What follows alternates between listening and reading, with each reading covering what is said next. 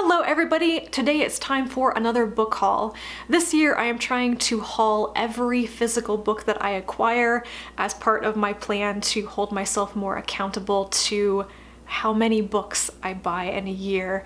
Already this has been enlightening and a little bit scary, but it does mean that I'll be doing book hauls more frequently this year, which I know, some of you may care about that. So today I'm going to talk about the books that I've acquired in the second half of February and in March. I'm going to go through the first half of this book haul pretty quickly because they are all used books that I got from book swap sites. I was basically trying to use up a bunch of my credits before they expired and I used them all on backlist titles that I've been curious about but wasn't able to get from my local libraries. And quite a few of them I don't know that much about them. I just honestly wanted copies so that I could read them eventually. First up is The Big Over Easy by Jasper Fforde. For years I was convinced that I'd already read this book, but when I actually looked it up, I didn't have it marked as read, so I really don't know.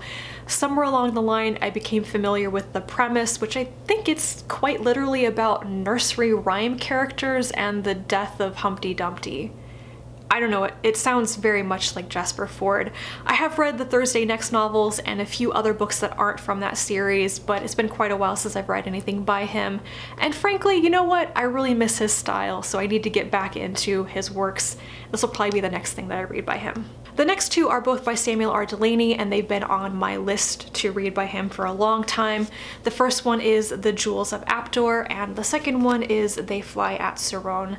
Frankly, I don't know what either of these are about, but I think they're both fantasy, and I think that The Jewels of Aptor was Delany's first novel published ever? Or maybe I have them switched, I really don't know.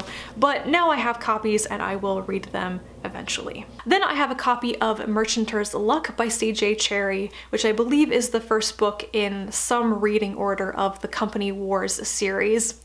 Basically, at the end of 2017, I was looking through Cherryh's back catalog and I noticed that she had a ton of science fiction titles and in the Company War series that I'd never heard of and certainly never read. I've read Down Below Station from that series, I think, and maybe nothing else. So I keep meaning to read more by CJ Cherryh, so I ordered used copies of all of the books and this is the first one and yet the last one that I managed to get. So my plan is to sit down and read them all in order in one fell swoop sometime this year and I plan to go into them pretty blind, so I don't even know what it's about, sorry. Ilium by Dan Simmons. This is a book that I've intended to get around to for years. Back when I was reading the Hyperion Canto series by Simmons, a couple of people highly recommended this to me as something that I would probably really enjoy by him. I get the feeling that Simmons has written a variety of works across many genres, and I do think that his more science fictional works are probably for me rather than maybe his horror or fantasy. This one sounds like a blend of fantasy and science fiction. I won't read the description, but I will read the quote on the back which says, Simmons' tale of a far future group of humans, sentient robots, and pseudo-gods at war is a rarity. Timely, honest-to-God literature with a plot that moves like a runaway train. So a fast-paced story that combines fantasy and science fiction and Olympian gods, that sounds really great. Pushing Ice by Alastair Reynolds. This is another one that's recently been recommended to me when I was reading the Revelation Space Trilogy. It sounds like a lot of people really enjoy this one, so I grabbed a copy of it when I found one. I will read the description on the back of this because it's pretty short. Bella Lind and the crew of her nuclear-powered ship, the Rockhopper, push ice. They mine comets. But when Janus, one of Saturn's ice moons, inexplicably leaves its natural orbit and heads out of the solar system at high speed, Bella is ordered to shadow it for the few vital days before it falls forever out of reach. I don't know if this is set in the same world as the Revelation Space Trilogy, but if it is, I have my terrifying suspicions of what is going on with Janus. Aunt Dimity's Death by Nancy Atherton. This is the first story in a long-running cozy mystery series and it was recommended to me by my friend Chris. So I went to the library to find it and discovered that my libraries have all the books except for the first one. I don't know why that happens, but it's very frequent and I just don't understand. I'm not going to read the description of this on the back. I think it's sufficiently summed up with just the label Cozy Mystery at this point. When I'm next in the mood for a story like this, I will read it and I will tell you what I think of it then. Next is The Wood Wife by Terri Windling, and this one I picked up for a very simple reason. It's been recommended by Ursula Vernon many times, and Vernon is one of my favorite authors and one of my favorite people just personality-wise.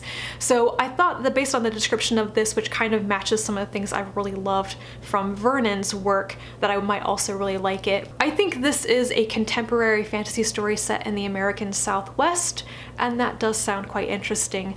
For some reason, I'm getting Pat Murphy vibes from this. I could be completely wrong, but maybe it's the, the era of fantasy. The next thing I want to talk about was a gift, and that is a signed copy of The Wind's 12 Quarters by Ursula Le Guin. Andrea found this and sent it to me, I think after she discovered that I didn't own anything signed by Le Guin after she passed away. Honestly, it had never even occurred to me to go try to find something signed by Le Guin when she was living. I never got a chance to see her at an event or meet her or anything, which is a deep regret I now have. Um, but anyway, I now have this because Andrea is absolutely wonderful to me. I very much appreciate it. I read this story collection many, many years ago when I was a child, and I intend to reread it. This copy I will probably put back in the plastic it came in and tuck it away somewhere safe because it's a very special object.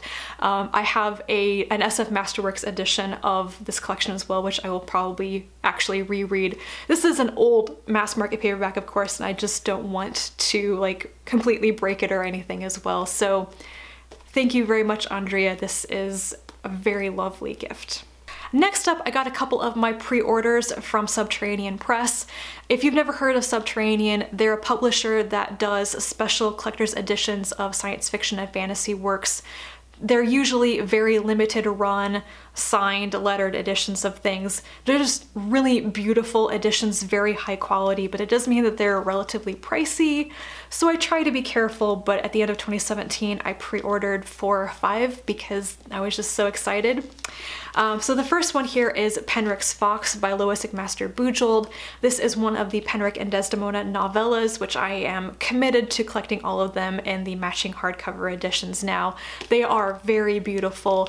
The cover artwork is done by Lauren St-Onge, and I absolutely love her artwork. So I've talked about the novellas in the series multiple times, so I won't spend too much time on this one, but it's so good. And they've been putting out the hardcovers of these pretty quickly. They're gonna be caught up with the ebook versions pretty soon and yeah, so, so good. The second one that I got is one I haven't read yet, which is rare for me, but I just couldn't pass it up, and that is The Tea Master and the Detective by Aliette de Bodard. I believe that this is a detective style story in her Xuya universe, and I've really loved the stories I've read in that universe so far. And mainly, this was beautiful and the first title that I think Subterranean has ever published by de Bodard, and I wanted to throw some money at that. So it is beautiful, it's very shiny, so sorry for the obnoxious glare that gets in the way. Um, the artwork on the cover is by Maurizio Manzieri, which is a name that I recognize, but I'm not sure from where. So it's very beautiful on the outside, and I wanted to show you underneath the dust jacket as well.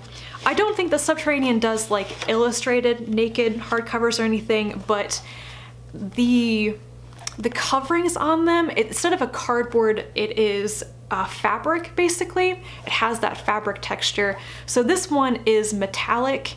I don't know if this is like a brass color. In some light it looks gold and some light it looks copper with like red tones to it. It's just luxurious feeling and the end papers are a really lovely color. I don't know if you can see it, but it's basically a diamond pattern on it with like a texture. It's just, it, it's luxurious, guys. so this one, totally beautiful. I need to read it very soon. I'm sure I will really like it. This next one is Lumberjanes Volume 8, Stone Cold.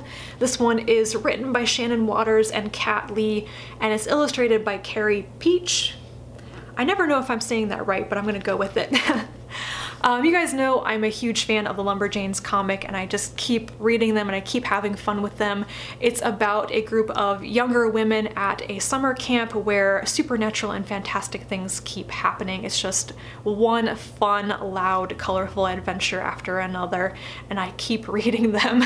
These next two I've already talked about in more detail in my first anticipated releases video of the year, so I'll just mention them briefly here. The first one is Monster Portraits by Sofia Samatar and Del Samatar.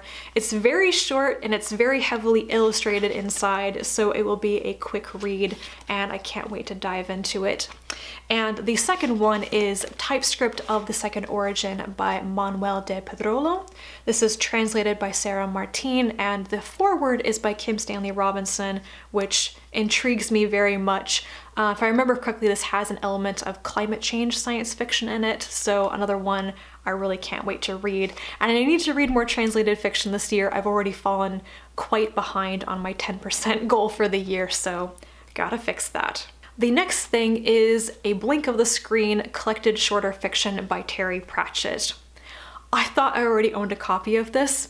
Actually, I own a copy of the very similarly titled book, which is A Slip of the Keyboard, collected nonfiction, which I haven't read. I bought it years ago and I don't know why I haven't read it yet.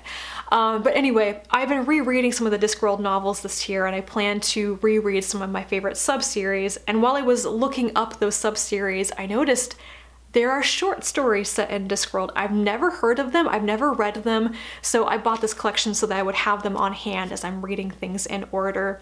Um, there's also a whole half of this collection which isn't Discworld related, but I will read those stories eventually as well. And the last book for this haul is The Queens of Innis Lear by Tessa Gratton. I requested this for review from the publisher, Tor, uh, because I'm familiar with Tessa Gratton's name from the Tremontaine series from Serial Box. She's one of the writers for that. I don't believe this is her first novel or anything, but it's her most latest one.